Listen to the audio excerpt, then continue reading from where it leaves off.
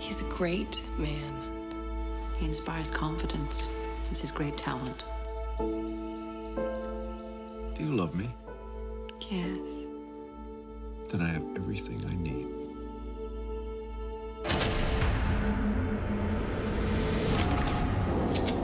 If you make a noise, I'll shoot.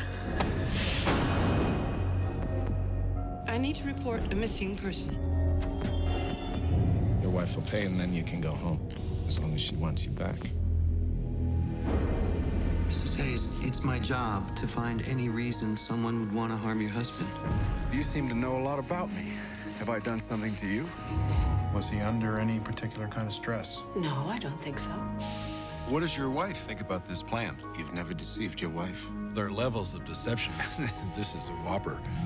Do you know a Miss Louise Miller? Yes, my husband had an affair with her. Does your wife know about the company you keep? You followed me? I'd say that's a whopper, Wayne. The demand comes to approximately $10 million. 9.5 in diamonds and a half a million in cash. You think if you steal my money, your life won't be such a damn waste? You have no right to speak to me like that. And to think that my family is gonna suffer because of you? Tell them you need proof that your husband is alive. I love my wife, Arnold. We have two beautiful kids, and I'm just getting to know them.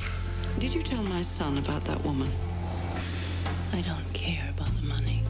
They've requested that your mother deliver the ransom. I don't want you anywhere near. You were told no with FBI. No, I told them to stay away. They're all over the hotel. How many times have you fired that gun, Arnold? I want to hear his voice. Do you hear me? Do you have any idea what it's like to see your life fall apart? I understand.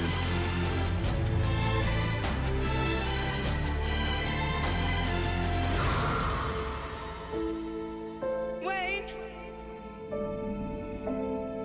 I'm afraid I'm never gonna see him again. What would you say to him if you could? That I love him.